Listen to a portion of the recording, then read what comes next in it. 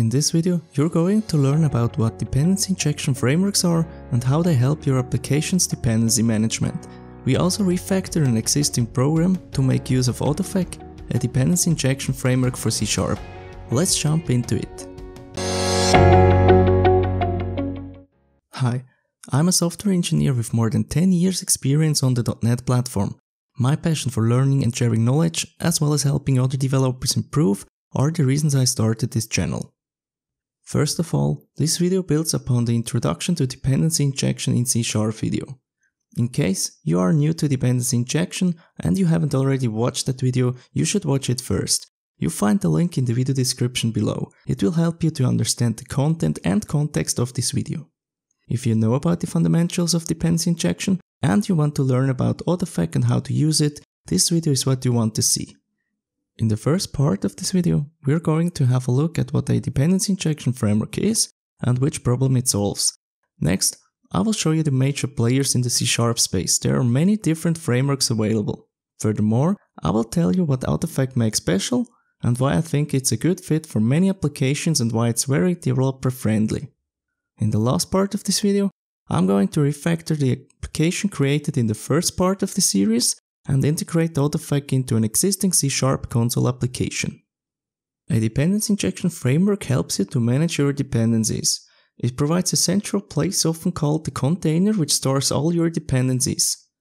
When your application needs an instance of a concrete class, it asks the container to provide one. Most frameworks also help you with the lifetime and the scope of your classes and provide additional features, for example aspect-oriented programming. Do we really need a framework for this? The idea behind the dependency injection framework is to make things simpler for you. It also provides additional features. For example, you can control how many instances of a specific implementation are created. Could you do it all your own? Yes, of course. But keep in mind that the main goal of your application is something different. It doesn't matter what the purpose of your application is. It's probably not to write a lot of code dealing with code dependencies. In the first video of this series, we learned that making use of dependency injection helps the structure and dependency management of your code. But you don't want to write all this code on your own, don't you? Now that we're convinced that a dependency injection framework might be useful to us, let's see which frameworks are available. There are many different dependency injection frameworks for the .NET platform. Some of the better known frameworks are AutoFac, Ninject, Unity and StructureMap. StructureMap is the original dependency injection framework dating back to 2004 and is no longer recommended to use. The maintainers of the project recommend Lamar as an alternative. Some other frameworks are Spring.NET, Castle Windsor, and Simple Injector. And there are many more frameworks. You find a link in the video description to a good Stack Overflow answer with an overview of most frameworks. AutoFac is an open source project hosted on GitHub and describes itself on their GitHub page as a framework to manage the dependencies between classes so that applications stay easy to change as they grow in size and complexity. You'll find AutoFac on its GitHub page linked in the description below or using your preferred search engine. AutoFac consists of a core package called AutoFac and additional packages. Those packages can be installed if you want to use additional features that are not part of the core framework, or if you're going to integrate AutoFac to a specific framework like ASP.NET Web API or many other popular frameworks. You might ask yourself, why AutoFac? AutoFac is my personal preference.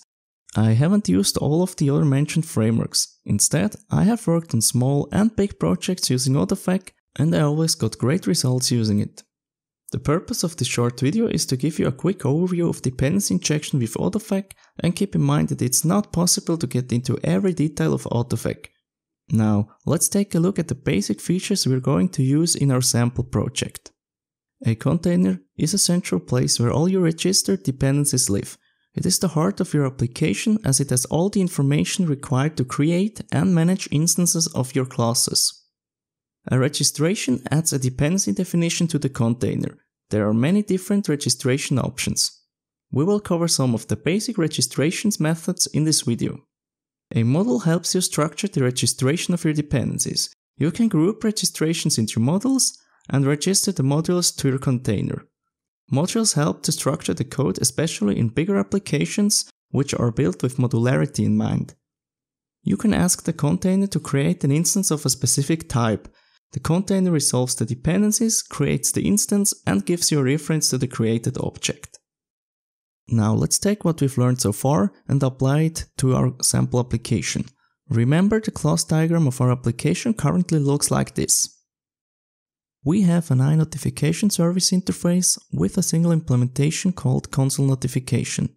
Next, we have a user class which has a reference to the iNotification service interface type and calls its notify username changed method in the changed username method. The program class initializes the program and creates an instance of the user class. And now let's integrate AutoFac. First, we need to add AutoFac as a dependency to our project. We can do this using the NuGet package manager or using the package manager console. The package is called AutoFac and we want to install the latest stable version, which at the time of this recording is 481. After the installation, we open the program class. The first class we need is the container builder class. Make sure to add a using statement for the AutoFac namespace. The container builder will create the container using its build method.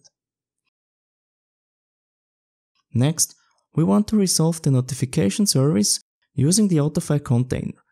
Therefore, we create the notification service variable and assign an instance of an object created by the resolve method of the container.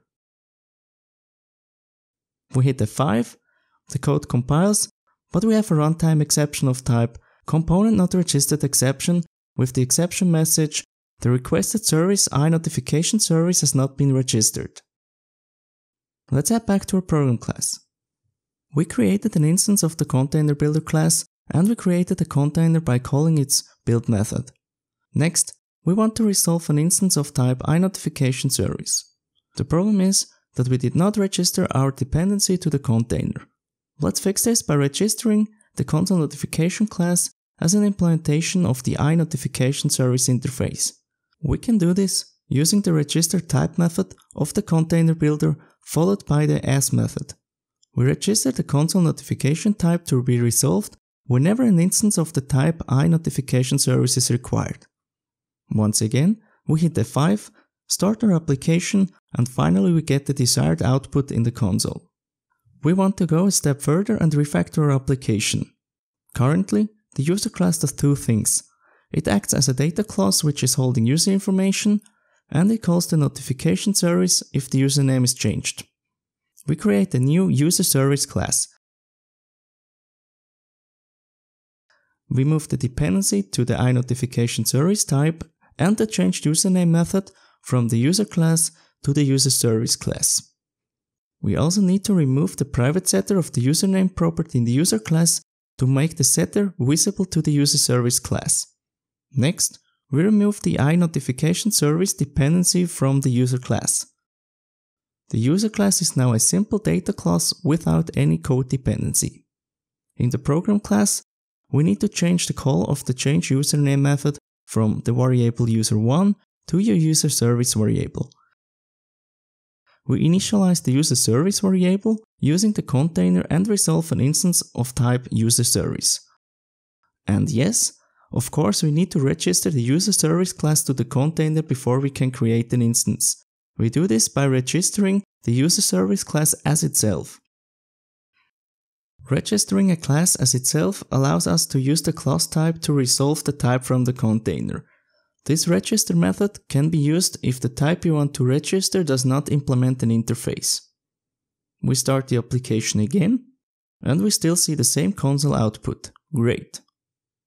As a last change to the code for this video, we want to make use of AutoFac's modularity feature. We create a new program module class. This class needs to extend the module class from the AutoFac namespace. We also need to override the load method from the parent class.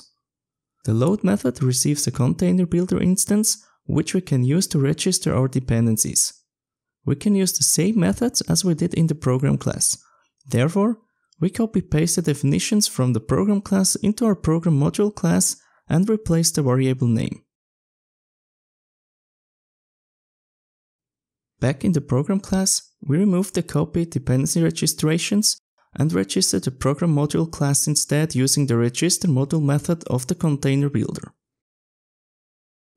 We hit F5 one last time and we still see the same output in the console. Perfect. In this video, we learned why and how dependency injection frameworks can improve the structure and dependency management of your code. Next, we learned the basic concepts of Autofac including containers, container builders, how to register dependencies, and how to resolve types at runtime.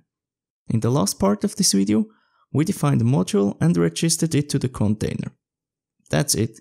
You know the basic features of Autofac and you can implement it in your own projects. In the next video, we will dive deeper into Autofac and we will learn a few advanced concepts which help you to create an even more maintainable and extensible application.